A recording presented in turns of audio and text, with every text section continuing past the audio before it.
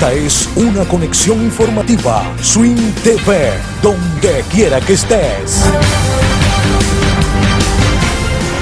A partir del lunes se activarán las 20 unidades entregadas hace algunas semanas por Fontur y la gobernación del estado Vargas a través de la misión Transporte para cubrir las rutas Carayaca, El Junco, Chichiriviche, Marapa Piache, Catialamar, Caribe y el urbanismo Hugo Chávez. Xavier Moreno explicó que están realizando los trámites para afinar todos los detalles de legalidad y darle paso a la circulación de las unidades sin inconvenientes. El viernes firmarán un contrato ante la notaría. Indicó que están trabajando en función de aprobar nuevas unidades para Caruao y Puerto Cruz, de acuerdo a los resultados de la prueba técnica realizada con una buceta Yutón de 24 puestos hacia la costa y se comprobó que sí están actas para cubrir la ruta.